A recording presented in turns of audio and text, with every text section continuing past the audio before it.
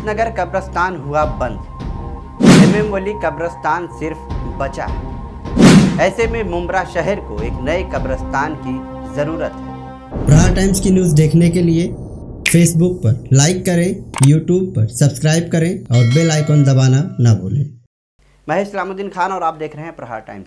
कुछ दिन पहले ही जमीयत मुस्लिमीन ट्रस्ट ने जानकारी दी थी केवल पचासी मैयत दफन करने की जगह और अमृत नगर दरगाह कब्रस्तान में बची है। उसके बाद कब्रस्तान बंद कर दिया जाएगा और शहर में इसके बैनर भी लगाए गए थे।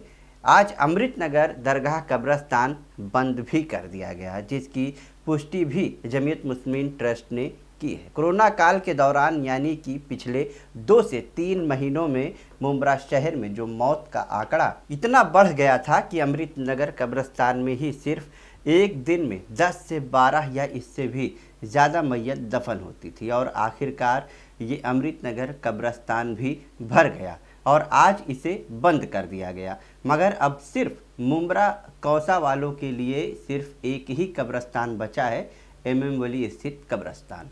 आपको बता दें कि एम एम वली कब्रस्तान भी भरने वाला है। कुछ ही पट्टा मैयत दफन करने के लिए बचा हुआ है। अगर ऐसे में मुमरा शहर में जल्द से जल्द नया कब्रस्तान नहीं दिया गया तो मैयत दफन करने के लिए काफ़ी संकटों का सामना करना पड़ेगा, जो शहर के लिए बड़ी मुसीबत बन सकती है। ऐसे में शहर के जिम्मेदारों को आगे आना चाहिए और इसका हल निकालना चाहिए।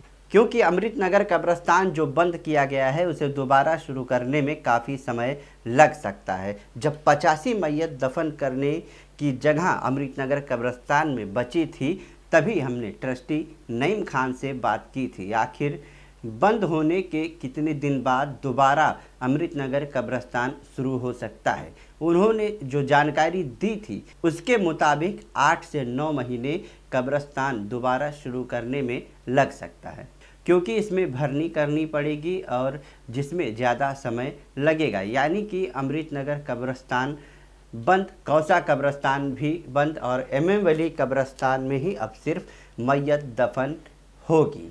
और मुमरा शहर को ऐसे में एक नए कब्रस्तान की सख्त ज़रूरत है। तो तमाम खबरों को जानने के लिए देखते रहिए प्रहार टाइम्स।